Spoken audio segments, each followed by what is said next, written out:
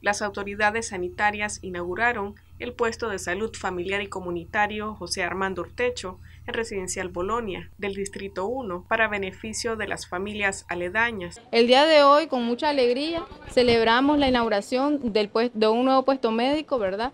El puesto de salud Armando Urtecho, el cual lleva la salud a la población.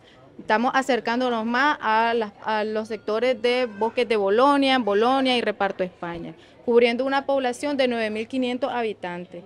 Este, es muy importante que toda la población pues, este, tenga conocimiento de este puesto, ya que con mucha alegría aquí vamos a brindar eh, medicina general, vamos a tener vacunas, curaciones, el área de nebulizaciones, el área de, eh, de rehidratación oral en caso de las personas que andan con vómitos, diarrea, entonces, aquí nosotros vamos a tener dos ESAP, ¿verdad?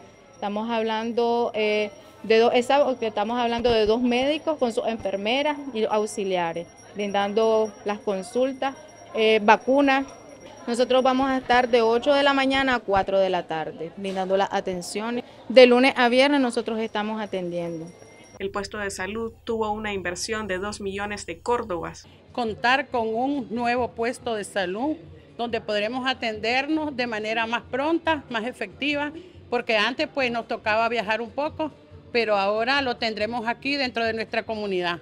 Está muy bonito, muy equipado, bien acondicionado Aquí hay bastantes adultos mayores, a unos que no están pensionados y entonces ahora ya tienen su centro de salud. Este nuevo puesto de salud se ubica de Canal 2 una cuadra abajo y atenderá a la población de Bosques de Bolonia, Residencial Bolonia y Reparto España. Para Noticias 12, Gloria Campos.